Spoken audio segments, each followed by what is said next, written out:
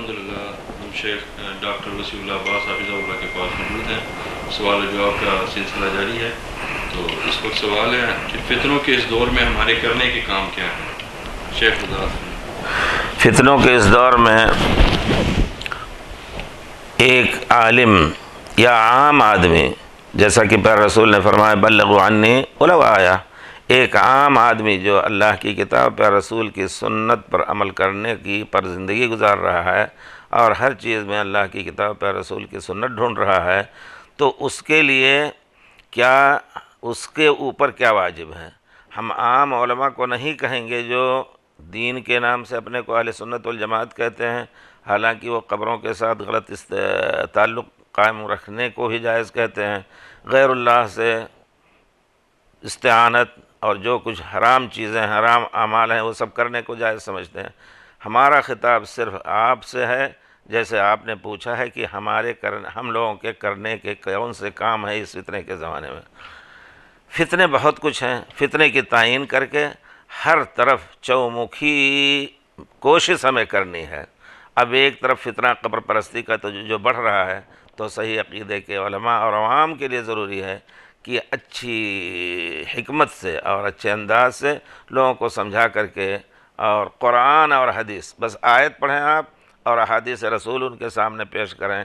یقیناً بہت سے لوگوں کے دل بہت جلدی قبول کر لیتے ہیں۔ پڑھ کر کے اور پھر ان کو سمجھایا جائے کہ یہ جو تعلقات ہم رکھتے ہیں قبروں سے غیر شرعی تعلق ہے۔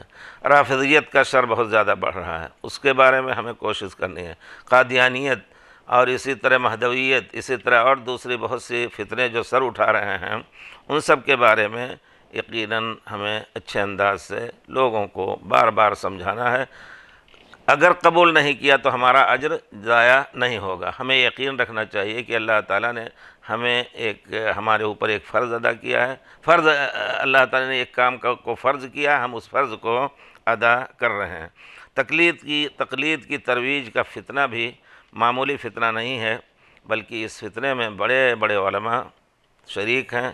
اور صرف اگر یہ تقلید اپنے ماحول میں وہ رکھتے تو کوئی حرج نہیں، لیکن مشکل کہ ہم دیکھتے ہیں کہ وہ رات دن کوشش کرتے ہیں کہ کتاب سنت کے عمل کو دبایا جائے۔ مسجدوں کو گرانے کی کوشش کی جاتی ہے، مسجدوں پر قبضہ کرتے ہیں۔ یہ ایک حقیقت ہے جس کا انکار نہیں کیا جا سکتا۔ یہ بھی ایک فتنہ ہے، لیکن ہم سفید طلبہ جو کتاب و سنت کے طالب علم ہیں، ہمارے اوپر واجب ہے کہ ان کو ہم اپنا بھائی سمجھ کر کے، یہ چیز بھی بہت غلط ہو رہی ہے کہ ہر ایک کو جاننا چاہیے کہ ہزار اختلاف کے باوجود اسلام کے دائرے میں ہے۔ تو ہر ایک کو اسلام کے اخوت کا حق دینا اور اسلامی اخوت کا حق دینا ضروری ہے۔ ہم بھی ان کو بھائی سمجھ کر کے نصیحت ان کو کریں خیرخواہی ان کے لیے کریں۔ ان کو بھی چاہیے کہ ہمارے، ہمیں مسلمان سمجھ کر کے کافر نہ سمجھیں۔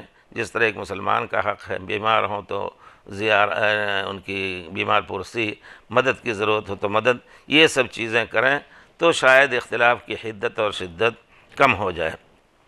قوم کے بڑے بڑے علماء آج کل مسلمانوں کی حالت پوری دنیا میں ناگفتہ بے ہے، اس میں کوئی شک نہیں۔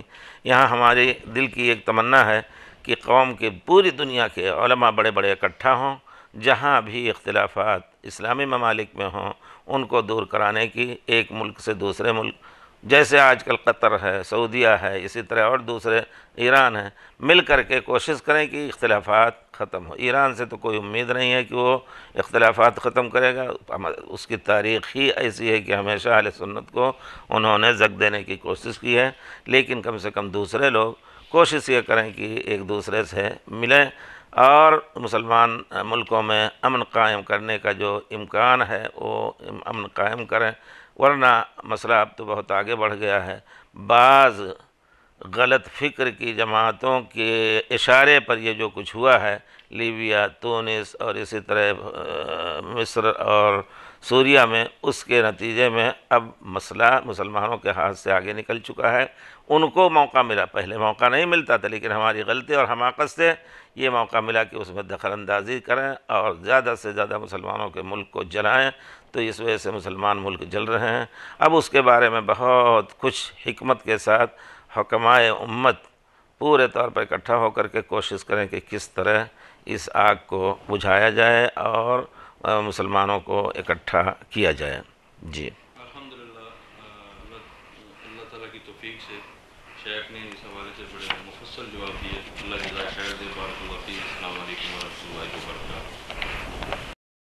اللہ کے دین کی دعوت اور لوگوں تک پہنچانے کے لیے اس ویڈیو کو ضرور لائک شیئر کمنٹ اور سبسکرائب کریں۔